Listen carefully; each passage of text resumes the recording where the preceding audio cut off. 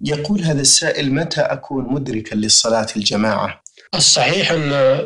صلاة الجماعة تدرك بإدراك ركعة ومن العلماء من يرى أنها تدرك بالتكبير قبل سلام الإمام ولكن الصحيح القول الأول أنها تدرك بإدراك ركعة لأن الوقت كما ثبت في الحديث يدرك بإدراك ركعة منه فكذلك الجماعة نعم